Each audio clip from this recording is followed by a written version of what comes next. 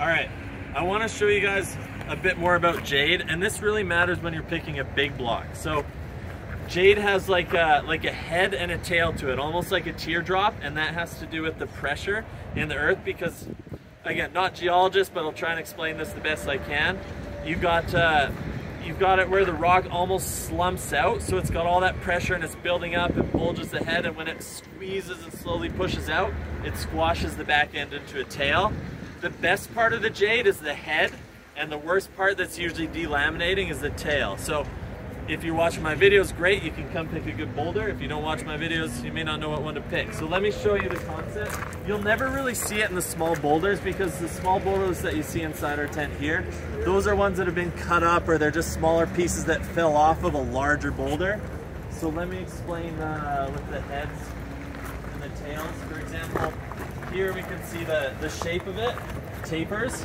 So this is telling us it's more of a tail piece. And sometimes the tail pieces are good. Sometimes they're actually genuinely really good. Um, but statistically, the head pieces are better. So let me find some more tails here. Um, this one actually, this is a great example of a tail end. You can see how, how it's tapering in the back there and then the back part here is delaminating. So that's literally what I was trying to explain. And as you get closer to the front and the piece that we would have cut off here this is probably the best area of the boulder that would have been there. Um, and I can show you with a quick spray of water to you know just get you a window in. There's things like this like weathering that you don't want to be concerned with. And of course we obviously have better boulders than this.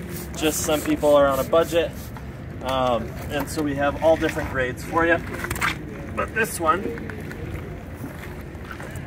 it's still pretty good jade throughout, but from there back, you're starting to deal with a lot of structural issues.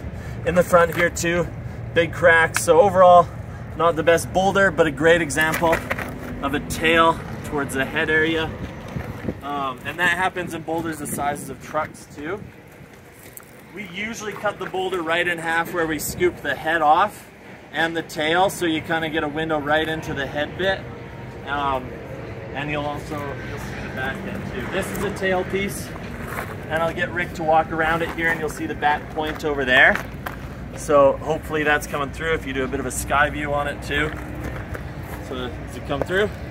All right. So when you see those points, generally think those are the tails, and it may not be the best jade. Not always the case. Sometimes it's the best, but. Uh, but think of that the process of how it's made with that heat and pressure and then it kind of plopping out and just kind of the last bit squishing there. So um, head and tail, those are kind of the structure of the jade boulder.